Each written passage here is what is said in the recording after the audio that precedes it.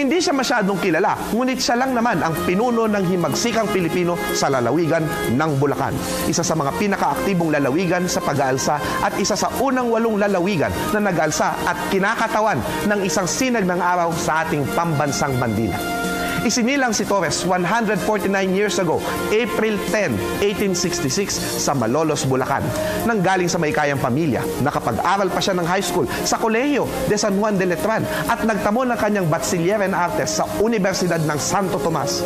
Ngunit noong 1880, 16 years old pa lamang siya noon at aktibo na sa mga gawaing panlipunan, nasangkot siya sa tangkang pagpatay kay Padre Moises Salvador dahil sa pagnanais di umano ng kura paroko na magpataw ng mataas na singil sa simbahan. Inaresto si Torres, subalit hindi siya nakaya ni Fathers ang kanyang powers. Napawalang sala siya dahil sa impluensya ng kanilang pamilya. Noong 1890, naging kabeta de barangay at matapos ang dalawang taon, sumapi siya sa katipunan ni Andres Bonifacio. Kasama ang isa sa mga tagapagtatag at unang supremo nito, ang Bulakenyong si Diodato Arellano, kasama sina Doroteo Caragdag, Juan de Leon at Manuel Crisostomo. Tinatag nila ang sangguniang bayan ng Katipunan sa lalawigan ng Bulacan, ang bantog na Sangguniang Apoy. Nakilala siya sa Katipunan sa pangalang Matanglawin nang mabunyag ang Katipunan noong August 1896, nakaiwas sa pag-aresto at nakatakas patungong Masukol, Paumbong, Bulacan. At mula doon, tatlong libong katao ang natipon niya mula Hagonoy at Tondo upang mag-alsa laban sa mga Espanyol.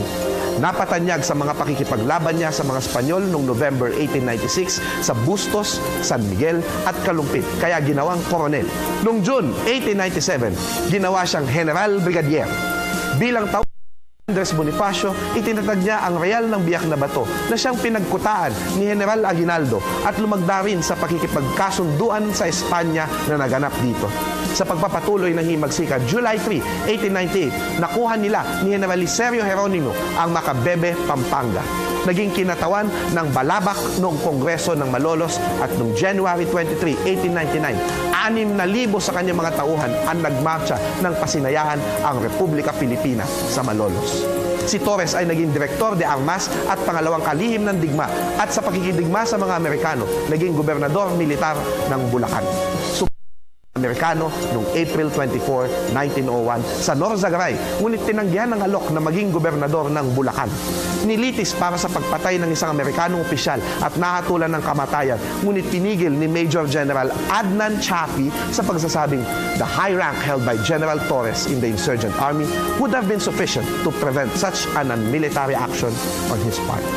Lumisan siya patungong Singapore at nanirahan sa Japan.